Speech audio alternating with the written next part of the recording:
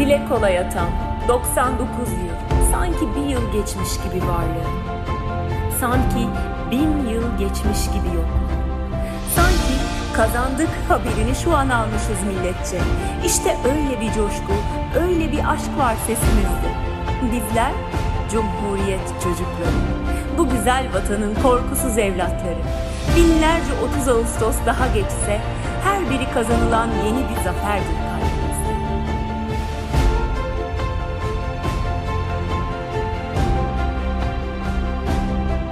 Mustafa Kemal ve arkadaşlar 19 Mayıs 1919'da başlattıkları kutsal yürüyüşün 30 Ağustos 1922'de zaferle taşlandırılmasıdır bu bayram.